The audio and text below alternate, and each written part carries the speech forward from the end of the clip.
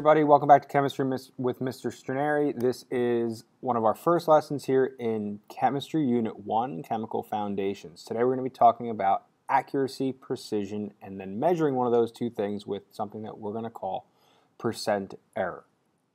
Now before we dive into things, let's set up some objectives for what we want to discuss today in this lesson. First thing that we're going to want to worry about is describing and kind of understanding what accuracy and precision actually is and how can it apply to different measurements that we take in the lab. The other thing that we want to worry about is calculating a percent error and then what that tells us about our data, whether it's accurate, whether it's precise, does it describe both, uh, and then how we can use that to help us improve uh, our experiments. So the first thing that we're going to want to worry about is accuracy and precision. When we are in the lab and we're trying to measure something or run an experiment, it's important to be able to get things that we want. We want to be able to run the experiment and get the results that we are looking for. Accuracy and precision are two big things that are going to carry out throughout the year whenever you do an experiment, whether it's in chemistry, physics, biology, that are going to be very, very important.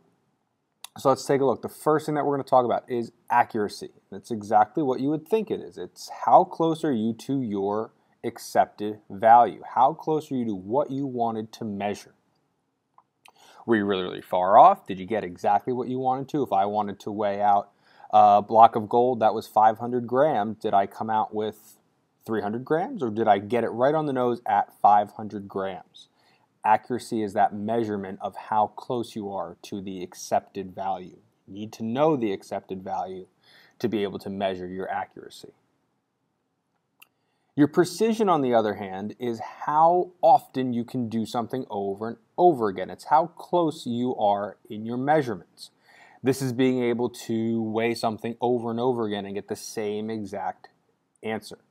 It's being able to take a length on on your desk, let's say, if you're measuring how long your desk is, and being able to get that measurement over and over and over again. It's the repeatability of your measurements that your precision actually is. Accuracy, it's how close you are to what you wanted to get to. And precision is being able to do that over and over again.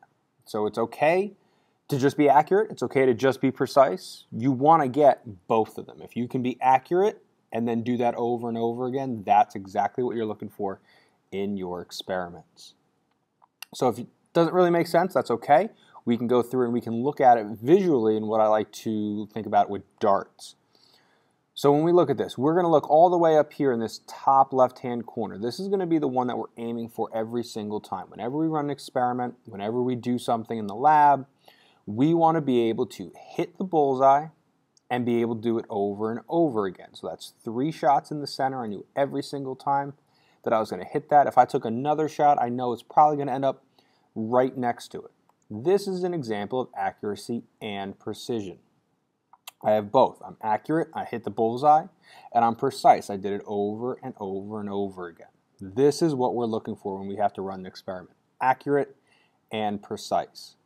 If we look over here to the right, over on this one, let's see what happens with these shots now. All right, so those three shots. Let's see. One's right in the middle. One's right on the line right here. So I would say that that was kind of where we were shooting for. And then one over here is in the yellow. It's close to the red, but not exactly there. If I took a fourth shot, though, do I know where it's going? Not really, not right now. I know it's going to be somewhere close. I know it's going to be somewhere in the middle, maybe. So I'd say this is accurate without being very precise. I know that the fourth shot's going to end somewhere around here, but it's not as clustered as this was in our very good example. So this example would be accuracy without being very precise. If we look down here,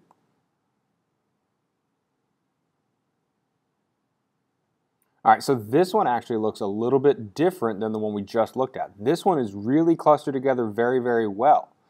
This I know if I took a fourth shot, it's probably going to end up somewhere around there. But is it anywhere near the center, our target? This is what we're aiming for. This is, would be our accepted value, what we're trying to get at right here. No, it's not anywhere close to that whatsoever. So this would be the, the opposite example. This would be being precise, being able to do this over and over again without being accurate, being accurate at all. And of course, if you're figuring this part out, the last one is going to be neither accurate or precise. No idea. If I took a four shot, I have no idea where I'm going with that one. So what we want is we want to be all the way up here. We want to be accurate and precise. This is the one we want. Most of the time, you're going to end up one of these two. You're either going to be accurate without being very precise. You're going to be precise without being very accurate. Both of those are okay because we can fix them. We can figure out, all right, how do I move this cluster back up to the center? How do I tighten this up? If I'm neither accurate nor precise, it's not going to work out very well for your experiments. All right, so how do we calculate whether we are accurate or not? That's where our percent error is going to come in. It is a measure of how inaccurate a measurement is when I compare it to the exact value. And to make it easier for us, we're going to turn it into a percentage. It's going to make it easier to, you know, communicate it around and be able to actually work with that number. And if the definition confuses you, that's okay. I like to think of it like this. How close are you to your accepted value? How close are you to your bullseye? If you have a small percent error, means you were pretty darn close. If you're only 1% off, that's great. If you were 100% off, that means you were nowhere close to what you wanted to get. The bigger the value, the less accurate you actually are in your measurements. And we can go through and calculate this if we know certain things about our data. So I like to look at an example. Whenever I have something that I have a formula for, I like to go through and put an example to it. Here's your example. If a student measured the room width at 8.46 meters and the accepted value was 9.45 meters, what was their accuracy? Seems pretty complicated. We got two numbers there. We don't know what's what. Well, it's going to be pretty simple when we look at our formula. And here's going to be your formula for percent error. You're going to have this EV thing. We're going to put all the words to it later. Minus your AV times 100. That's where our percentage comes in. And then we're going to divide it by this thing AV again. I've made it really easy for you guys because I've got it color coded. But we're going to need to know two things. We're need to, going to need to know the experimental value. That's this EV. That's the measured value in your problem. It says it right here. Student measured the room. That's this 8.46 meters. That is going to be your experimental value. The AV, on the other hand, is your accepted value. That's the true number. That's exactly what this room is going to measure, 9.45 meters. Once you know those two things, you can go through and calculate how accurate you were in your experiment or in your measurements. Once I know those two, let's just plug everything in and I'll do the math through with you. So we've got our experimental value, 8.46 meters. We have our accepted value, 9.45 meters. All I'm going to do is plug them directly into my formula. Wherever I see EV or AV, I'm going to take these numbers and plug them right in, and then it becomes a simple math problem. Now, if we don't remember our PEMDAS, our order of operations, we're going to do everything in the parentheses first, and then it doesn't matter, we can go through multiply and then divide. So when I do this subtraction right here, I'm going to end up with a negative number. It's okay. We're going to talk about what that negative number or the positive number means in a little bit. I come out with negative 0.99. And now it's just multiplication and division. When I go through, I'll multiply by 100. I come out with negative 99. I divide it by 9.45. And my percent error is going to be negative 10.5%. So that means when I took my measurement, I was off by 10.5%. Now, 10.5 is fine, but am I over by 10.5% or am I under by 10.5%? And that's where this negative or positive value is going to come in. If I am negative, that means that I came in below my accepted value. That means my measurement was 10% off below what the accepted value was supposed to be. If I came in positive, it was a positive 10.5%, that means that I was over by 10.5% of whatever my number was supposed to be. This can help you guys out when you're trying to figure out, well, where did I go wrong? Did I overshoot it? Did I undershoot it? How far did I do that? It can help you kind of redesign or reevaluate your experiments if you know that positive or that negative value. All right, and again, the student was off by almost 11%. Now, the question that you should be asking yourself is, well, 11%, that sounds pretty good, right? Well, acceptable error, we're going to say for our class is going to be plus or minus 5%. So if you are within a negative 5% or a positive 5% error, you are okay. That's acceptable. We'll, we'll, go with a 5%. If you are greater than 5%, you've got to go back and remeasure it or reevaluate the experiment that you set up for certain kinds of error.